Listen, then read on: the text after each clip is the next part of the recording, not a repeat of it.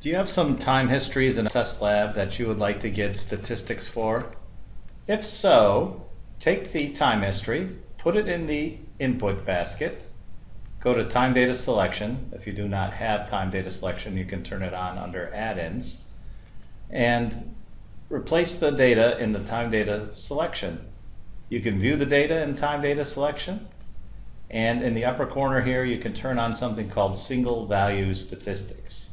In single value statistics, you can select the functions you'd like to calculate. For example, you might want the minimum value of the time histories, the maximum value, the time that the minimum occurred at, the time that the maximum occurred at, range, extremum, mean, etc.